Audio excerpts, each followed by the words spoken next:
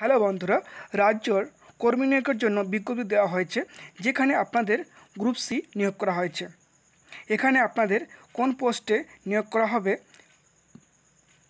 শিক্ষাগত যোগ্যতা কী বলা হয়েছে বয়সীমা কী চাওয়া হয়েছে, বেতন কত দেওয়া হবে, এছাড়াও আবেদন করবেন কীভাবে, আবেদন করার শেষ তারিখ কবে সব কিছু জানাব আমি এই ভিডিওটির মাধ্যম।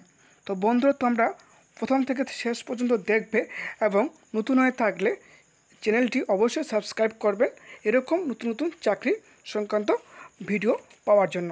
তো বন্ধুরা তোমরা দেখতেই পাচ্ছ অন স্ক্রিনে government of West Bengal office of the block development officer Saranga Bankura এটা কিন্তু পোস্টটা বেরিয়েছে বাঁকুড়া থেকে। তো তারপরে বলা হয়েছে যে নোটিশ ফর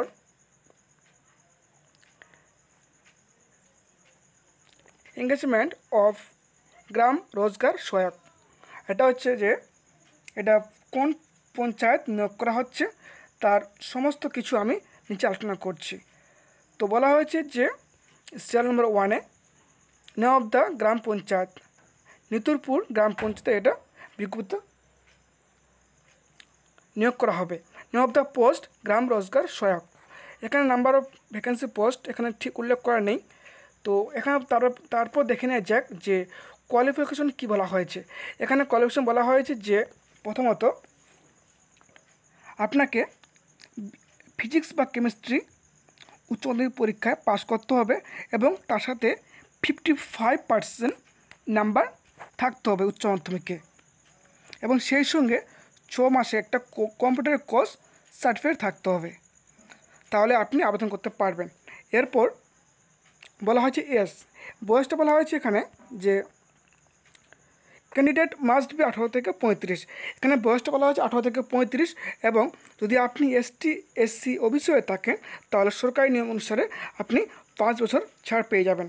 এবার বলেছে যে রেসিডেন্ট সেটা এখানে বলেছে application should be local resident and voter of this entire block area কিন্তু আপনাকে বাঁকুড়া স্থায়ী বাসিন্দা হতে হবে তবে কিন্তু আপনি আবেদন করতে পারবেন। এবার তো বন্ধু, তোমরা দেখতেই পাচ্ছ অন স্ক্রিনে এই সেই ফর্ম ফর্মটাকে আপনাকে সম্পূর্ণ ফিল করতে হবে। Name of the applicant father gender category address date of birth বলছি ইপিক নাম্বার আধার তার মানে ভোটার কার্ডের নাম্বার আধার নাম্বার মোবাইল নাম্বার সব কিছু জেড আপনাকে ফিল করতে হবে। এখানে একটা আপনার পিক দিতে হবে। ফর্মটা ফিল আপ করে একসঙ্গে কী কী ডকুমেন্টস লাগছে? একসঙ্গে ডকুমেন্ট লাগছে যে admit card, secondary documentation birth certificate, marksheet EPIC মানে voter card, certificate residence certificate,